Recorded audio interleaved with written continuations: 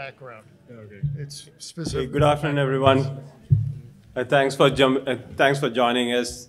And in fact, this is I know this is between the lunch and the rest of things, so taking the time and coming here is really appreciated. So one of the key topics that we have been covering the digital side for most of the days, but today's topic for what we want to cover is that on ushering a new era for manufacturing to, through digital transformation. One of the this morning also we had the keynote speakers talking about what the digital maturity, how we are looking at from an organization standpoint. So today we have esteemed panel with us. So we'll cover through the topics, and then at the end of it, we'll find some time to see, seek your questions and see if we can get a response out of that. So what today we have Rodney, just quickly on Rodney Durand. He's the Vice President for Digital Manufacturing Services uh, from L&T Technology Services. Then we have Ralph Rio, who's the VP from ARC. You know him. He has been there for long, so there's no need of no big introduction. And we have Bobby Wainwright. He's from Indorama Ventures. Uh, he's part of the asset manager for uh, Indorama Ventures. So they will be answering most of the questions. We will run through a bit of a polling and also to run through few questions as we mix between polling and. So we seek your inputs as we go along to find out what the what you feel about the certain how the industry is going, what your organization is up to, and all in the digital journey. So that we'll get through as we go along this particular process. So quickly on L&T Technology Services, we are part of a billion dollar enterprise. We are, around, uh, we are a billion dollar enterprise, part of a $23 billion uh, conglomerate. Our focus is to uh, looking at from an engineering. We are an engineering organization, purely from product development all the way to the manufacturing and after services. So more, dealing with product development, how to manufacture, setting up factory lines and everything.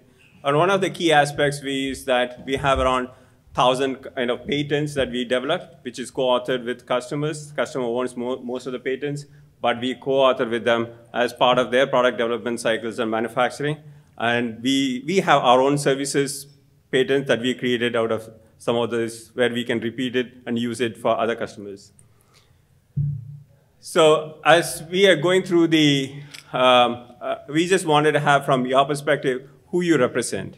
So just a quick polling questions, and you can pick up one of those where what who you represent as end users, or OEMs, service providers, and others.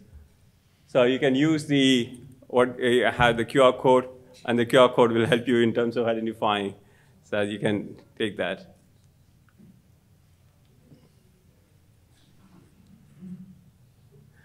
So we, Way cool. so it's good to see that eh, there's a lot of end users, manufacturers. I know it's it's a dynamic at this point of time, but still it looks really that's majority of them.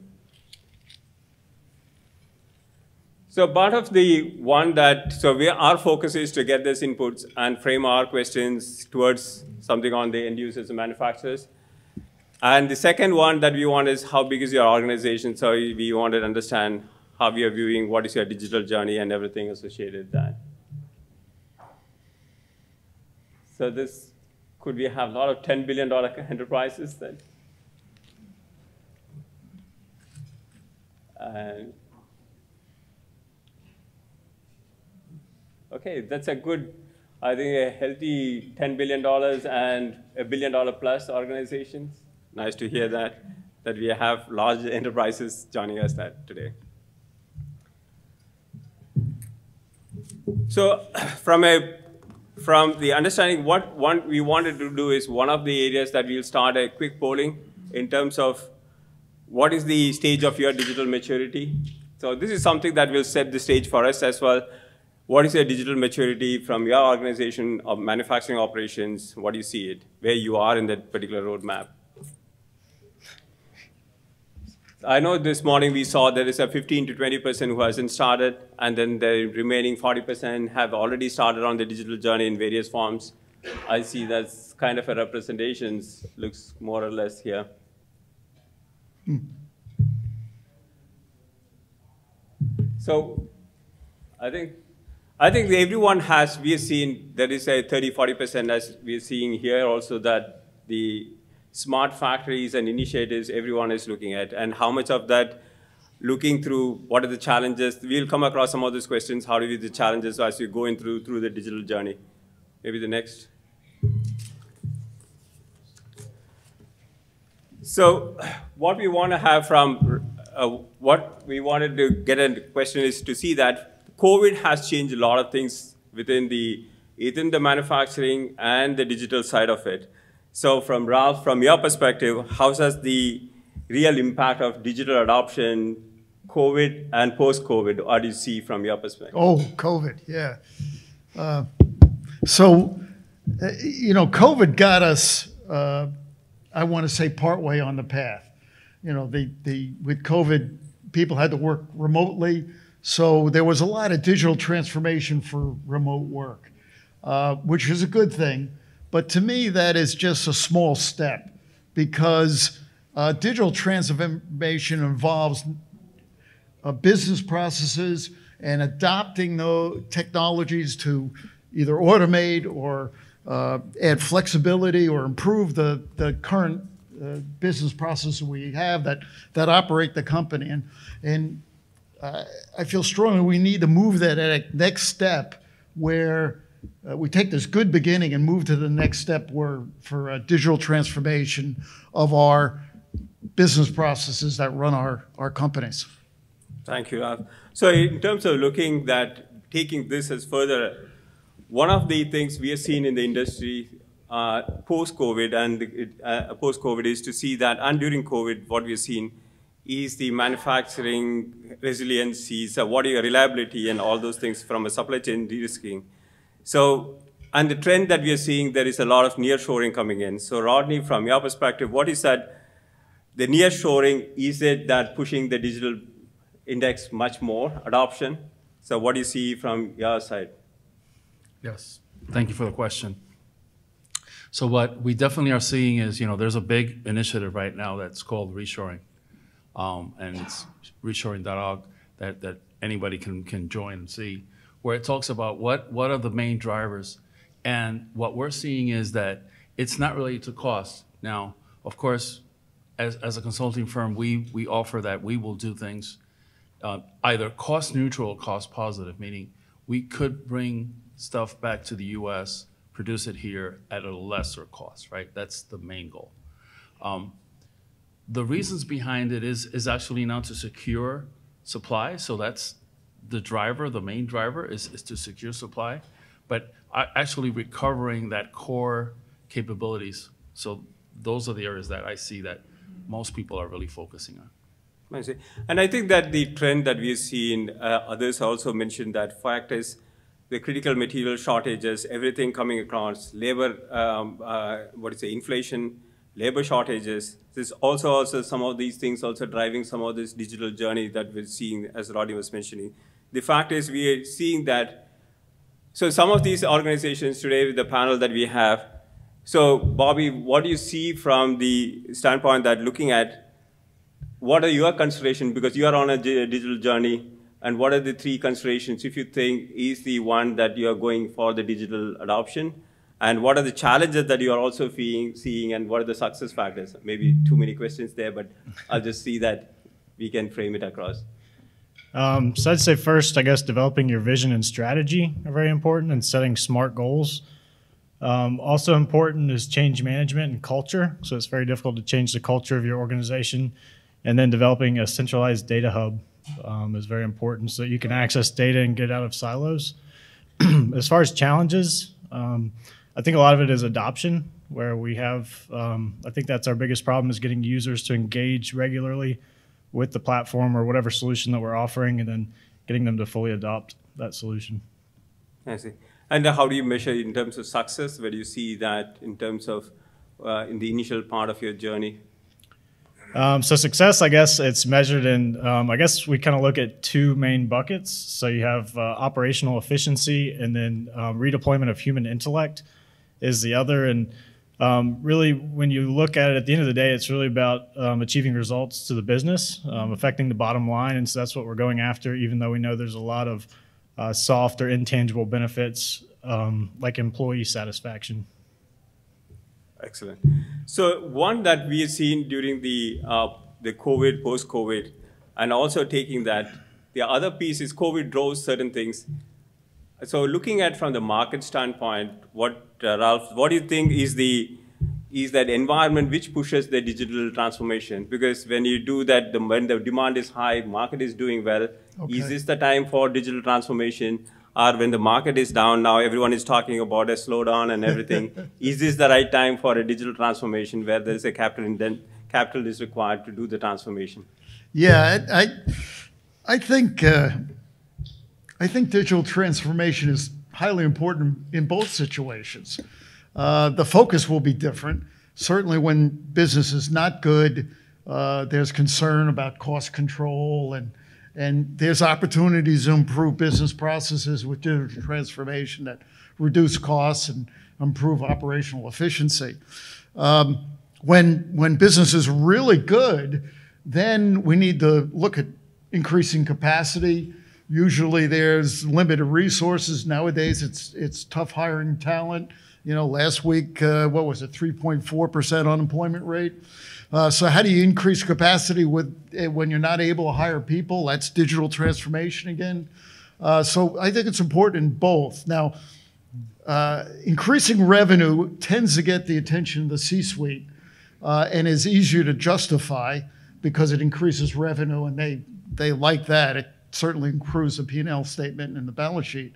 Uh, but cost reduction is also important and uh, that tends to be more operational, and the uh, uh, the uh, operational VPs will will get behind that kind of uh, uh, improvement. And so, you know, those are the kinds of in in the different situations. You also have different champions. Is Absolutely. my point. Absolutely. So from what is uh, Bobby? Then what you your take on this? How your organization is viewing now that you you're also seeing that the market's changing conditions and things like that. So how do you view from your organizations what the priorities looks like? Um, so um, I thought that was a good answer that you had. the uh, so when you have a bullish market, you have a lot more money available, and so you can do more tactical experiments. And so by doing more, um, implementing more technologies, you have a higher chance of success that they will pan out. Uh, whereas in a bearish market, um, there's less uh, less capital available, so there's less of those uh, proof of concepts that you're able to implement. Um, but you have to be a lot more focused in which initiatives you go after. And so it really pushes you to strategize uh, to make your biggest impact with the least amount of resources. Perfect. Yep, absolutely. And now with the one on the polling questions that we want to see that the next question that one of the challenges that we're seeing that the organization structure that we have, I think, the from a digital technology standpoint, what is that do you drive from the challenges that you see from an organization to take that and then adopt it much faster? So is that because most of the cases from our experience also to see that from is to see that two things came out from one is the process changes, other one is organization culture, which I think Bobby was talking about. So that's something that is a biggest challenges for them to adopt some of these technologies. And I see that the same thing that the polling also reflects that. It's good to see that. It's okay. So what we have is from the from the key technologies what we have from a transformation services. What are the key technologies that you think, Ralph, are the ones that driving the transformation? So what do you believe would be the ones that pushing, pushing for the? I know there's today this talk, about Chat GPT and all these things coming into that. Everybody has their favorite technology, don't they? Yeah, Yeah. and a champion for it, it seems. Um, if we were having this conversation 10 years ago um, and prior, uh, it, seemed that there would be one major technology occurring at a time, one being introduced and, and stuff like that. But uh, in the past few years, and, and uh, certainly going forward, uh, there's multiple technologies going on at the same time. And, you know, it isn't uh, just one, it's maybe a dozen going on at the same time. So I, uh, uh, we are in a hugely dynamic situation compared to to history in terms of technology change. Uh, so uh, I, I can't choose one that you should pick. I- think you need to look at your application, look at your business process, and I'm a I'm a champion of uh, of uh, value stream mapping that comes out of the lean lean manufacturing uh, world. And you know, before the people in the process industries start thinking I'm incompetent, why am I bringing that up to, to you? I'll just point out that in in uh, 1954, Toyota was attempting to make their first 100 cars in a month, and they failed uh, initially. Uh, and now, you know, it's a good time, a long time later, but now they are the number one manufacturer worldwide. So before you diss lean manufacturing, think about the success of Toyota. And I, and I think you, you involve the people who are involved in the business process. Those people understand it the best. And you map out the business process and you plug in technologies that improve that business process, whatever they may be, and not champion a particular technology. Absolutely, I agree with you. And as said, Bobby, that taking that in terms of from the journey that you had, what Ralph was talking about, the technologies and this, has how has your roadmap and prioritization have changed over the time that you see that is this more from you see that movement in the roadmap or is it more of a static that you have seen from from your organization? What do you Um, so the roadmap. so initially, we focused on uh, implementing some big win projects. So we would do some um, focus on large processes that are very complex and apply um, some different tactics like machine learning or advanced process controls. But then over time, we've come to notice that uh, we have a lot of difficulty giving remote uh, support to different sites, and so we've been working on our data infrastructure and having a cloud-based data hub such that we can pull information from a lot of different sites and then apply analytics and uh, and then visualization techniques to it. Absolutely. So I think that's the same thing for Rodney that you're seeing that from the industry that you're looking at. Now, how from you've been on this uh, services side to look at how has the what do you say technology changes to stay competitive? Have the the evolution of like what we talked about AI, ML, everyone talking about how they are gone about cloud, IoT, GPT, and all these things. The technology changes are so rapid. So how does the landscape changes? What do you believe would be the roadmap going forward that you look? So I, I want to piggyback on something that Ralph said.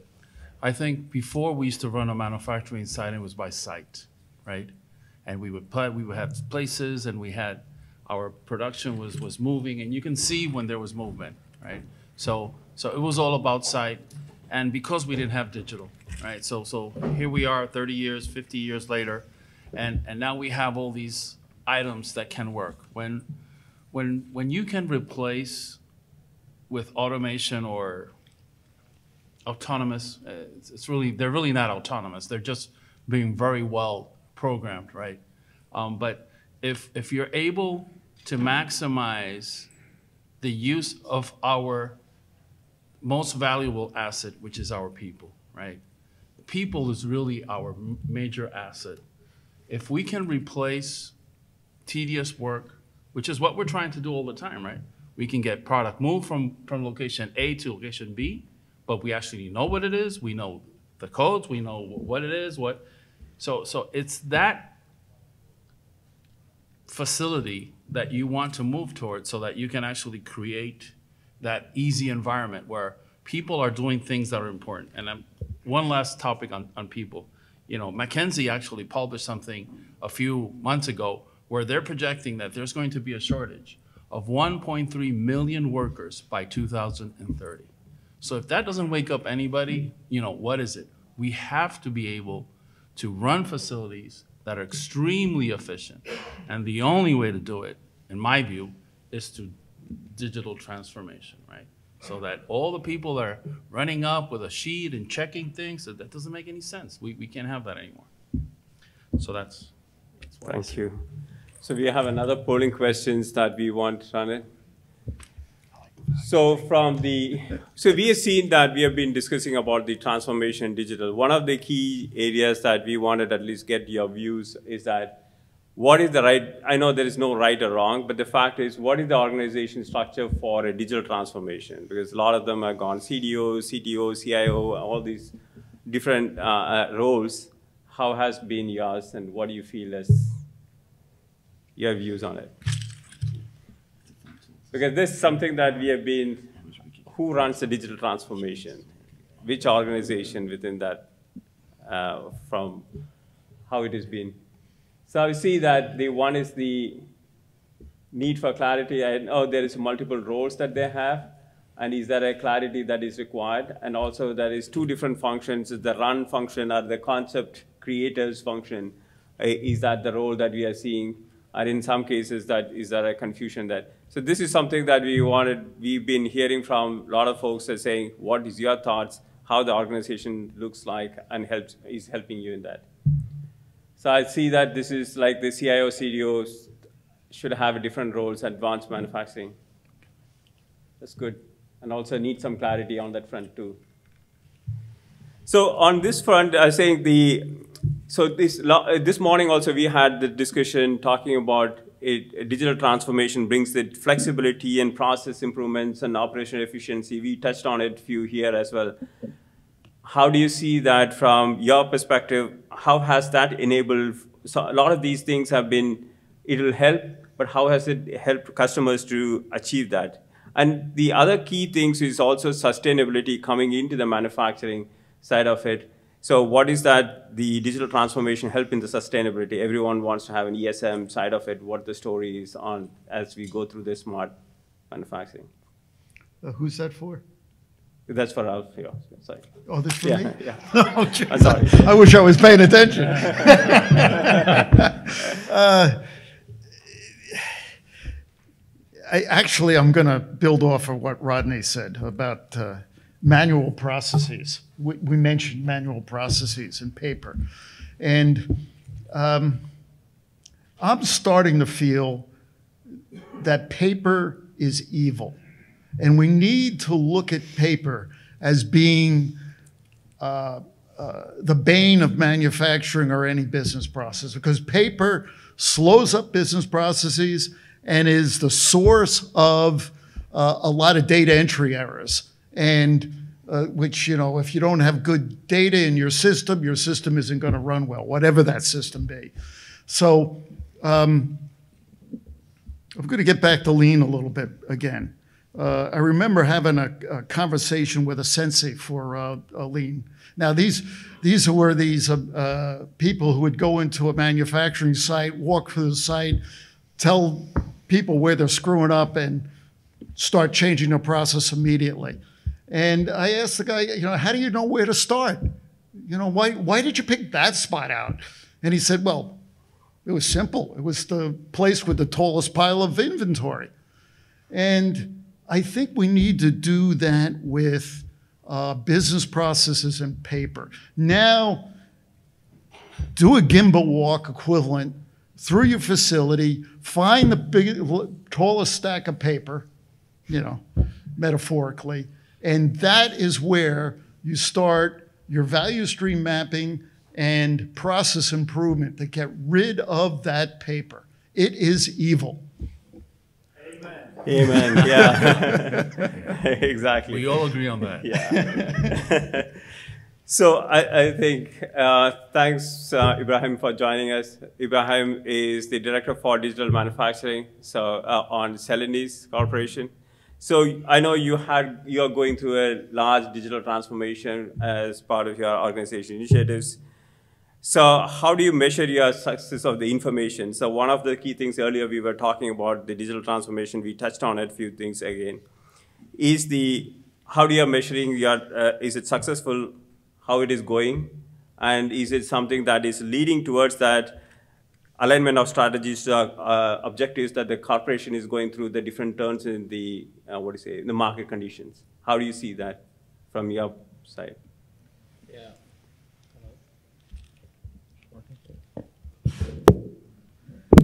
Sorry. Yeah, so our, our digital transformation strategy at, at Celanese is, is very much an enabler of our business vision, right? Um, the way the way we we looked at the digital transformation strategy was okay.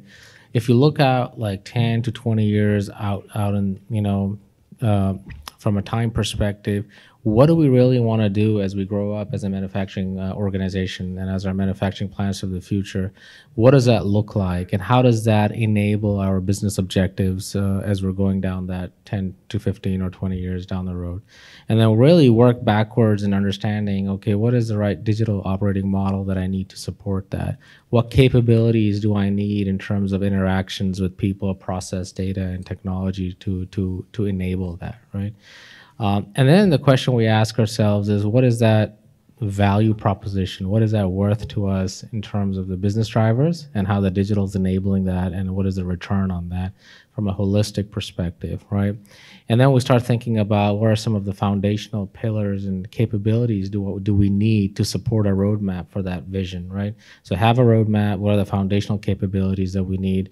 Things like data, you know connectivity you know and and then really understanding because i talked about the operating model is building a, a design and solutioning and capability around what i call the human centered design uh, around the people right one of the things that that we we've seen that people run into is with a lot of technology focus and when a company wakes up and says, "Hey, I want to do digital transformation," you're just surrounded by a lot of vendors that want to sell you stuff, right? And then there's the other aspect extreme of that is, you know, going down the data lane and trying to solve world hunger on data.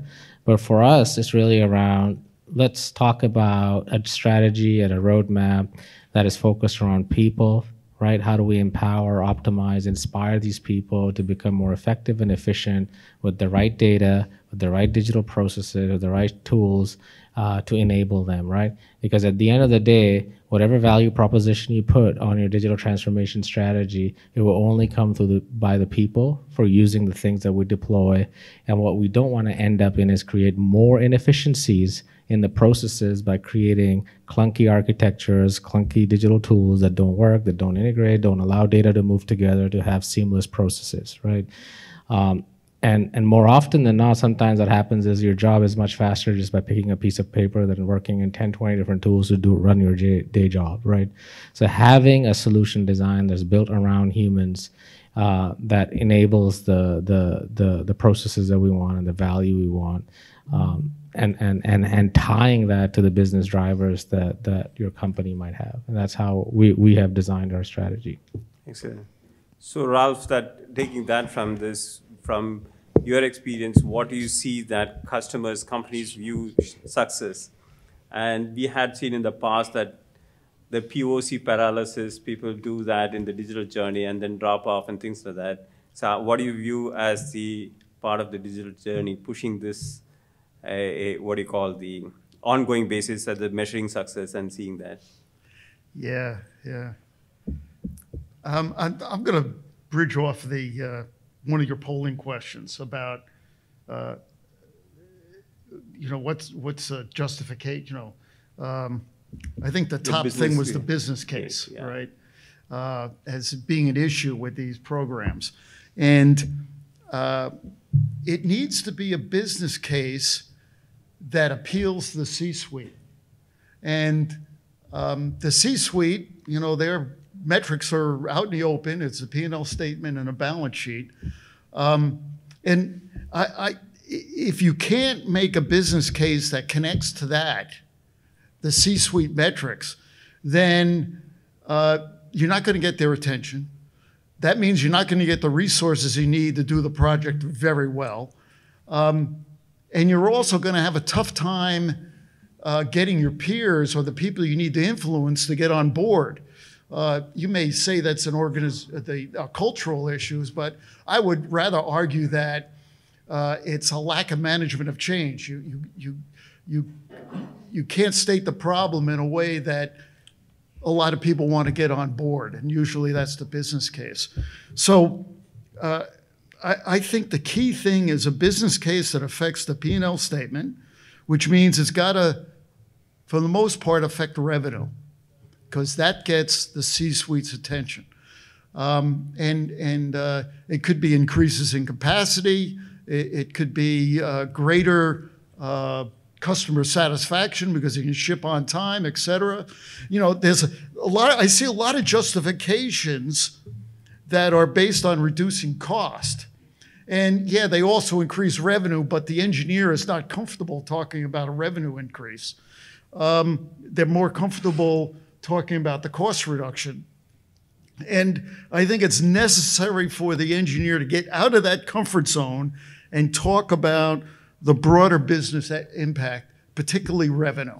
And when you do that, that totally changes the, the uh, executive support that you can get because they all love revenue. And um, uh, the access to because they're on board you get more resources you know people complain about i can't get resources from it well, if you had a good business case that got the c-suite's attention you would get all the damn it resources you want all right? That would not be a problem anymore. So i, think it's really important to focus on a business case that appeals to the c-suite excellent i think just to one on follow-up on this some of these on the business case side of it, how much of it would the foundational activities, which sometimes the business case gets killed because a lot of effort has to be turned around to get to the 20th uh, century or maybe a little better.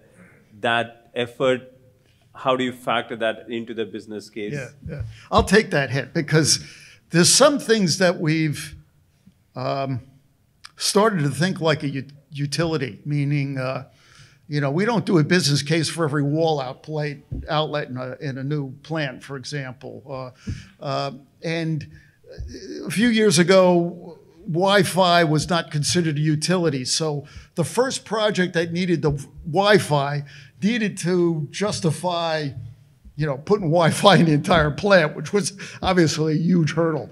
We are starting, I think the more enlightened people are starting to realize that Wi-Fi is a utility uh, and will then facilitate a lot of other improvements. So around the things that are, for lack of a better term, utilities, um, I, think maybe that's where we need IT to, to enlighten executives and, and just, just put it in, just do it, for example. Very good. So I think we'll go to a couple of polling questions that Oh, okay. So I'll just miss that. Uh, one of the, I think maybe maybe we'll do the next ones. So he, no, we'll take this one. So one of the high priorities that, what is your high priority in the digitalization that you are looking at? Because as, as Ralph was mentioning, there's a lot of priorities in the digitalization. So it's not a one, a, earlier days of the ERP or an I2 or a supply chain or solutions like that. And that was the drive for this. But now it is multiple things. So what do you think as the priorities that you see in your organization?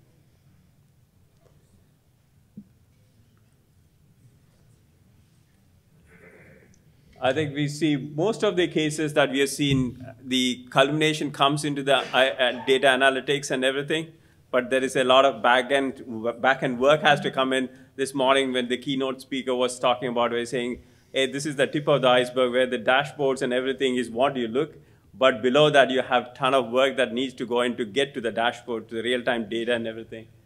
I think there's a lot of these. Another one is touched on the robotics and automation because of the labor shortages, what we see, how do we get that overcome? I think we see the same thing in here. That's good to see that. The next one.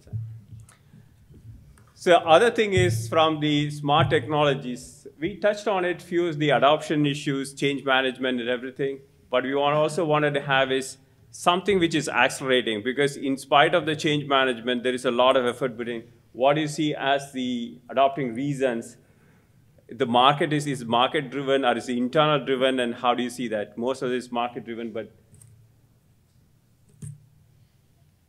I see there is a huge on the operational agility, supply chain de-risking and okay, optimization of operations. So I think that the fact is we're seeing the cost takeout operations being, becoming one of those things that everyone is an organization is looking at and I think that's also the reflecting of the polls to see that eh, it's as we expand the capacity, a, should we be more optimized in the manufacturing rather than having a, a I want double the capacity, but I don't want to have reinvent double the investment. maybe one and a half times or less than 50% to get the double the output that is looking at the market. So on the next one, we just want to touch on this, the next quest, uh, polling, if you can move that. So the other, uh, next one, maybe we can pull that because of time. Uh, one on the sustainability that we wanted to see that how big is the sustainability criteria in your organization? If you move to the next polling that question.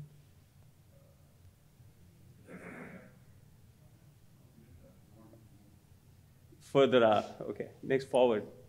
Okay, so one is that how much is sustainability in, in your ma manufacturing operations? Because a smart manufacturing we are looking at, most of them want to digitize it, but sustainability is one of those areas. We talked about paper, we talked about all of these things falls under the budget, under the sustainability route. So where do you see that? I love no clear strategy. Yeah, it looks like it's a huge on no clear strategy. There is a collecting data from manufacturing lines. I think that we have seen our the experience from what we wanted to have based on these polling questions. What you have? So sustainability, Rodney, from what we're seeing is a big deal in a lot of these organizations from services we are looking at. And for the Fortune 500 companies, how is that from is sustainability integrated to the to achieve the goals from your experiences? I think it's at a very infant state. I think a lot of us are aware of it. Um, still, it's not really a driver. I, I think in some instances it is.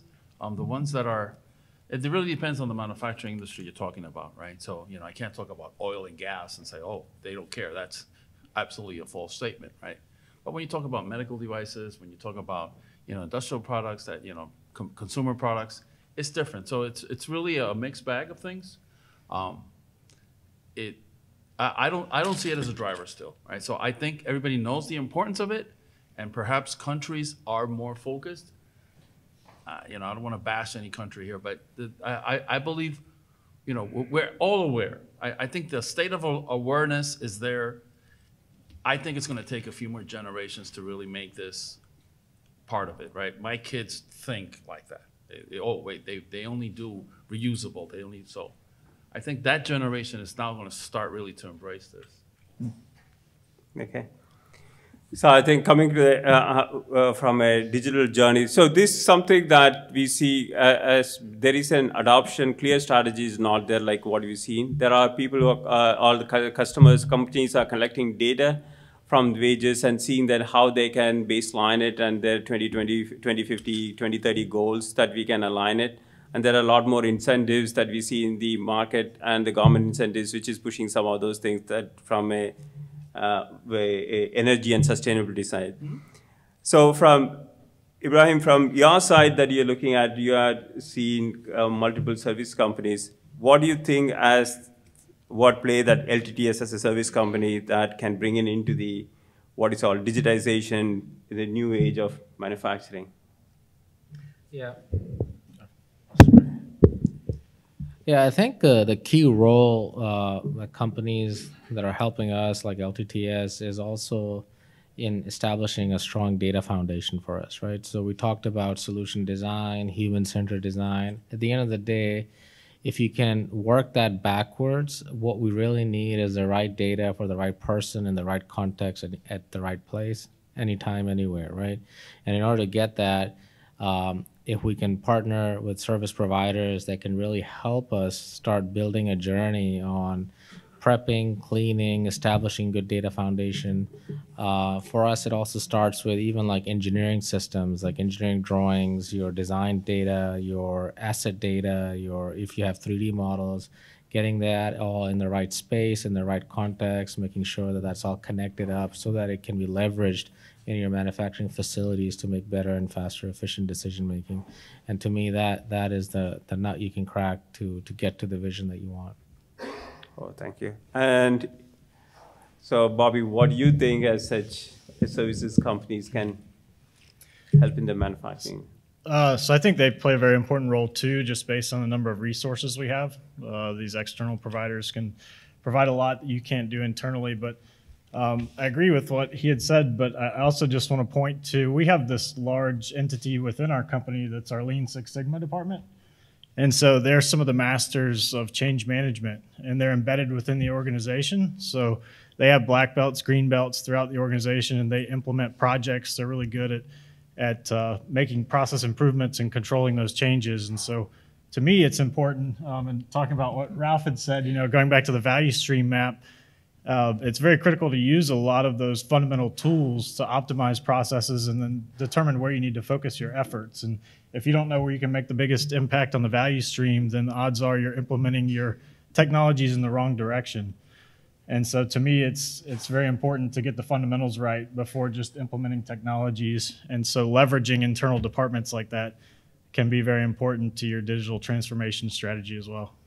Thank you. Excellent.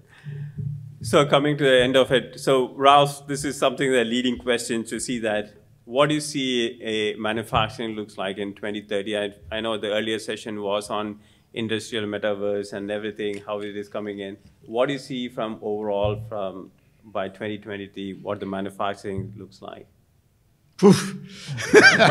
Digital transformation helps. Asking me to forecast out seven years in this day and age is just crazy. I mean, that's seven years. That's uh, let me count one, two. I think that's five iterations of Moore's law. Just to do the math, that's two times two is four times two is eight times two is sixteen and thirty-two Yeah, I can't forecast out that long. Um, uh, one thing I know for sure is you're going to need flexibility. Um, you know, it used to be that black swans occurred once every five, seven years.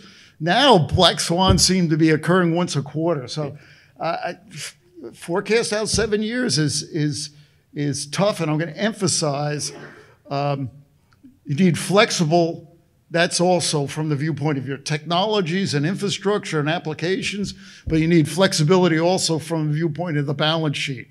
Uh, in that uh, you've got some assets set aside, so if things go badly, I should say if, when things go badly, you got the resources to recover. Um, uh, now there is one, you know, I'll just give you another example. We've got some technologies like quantum computer computing coming up.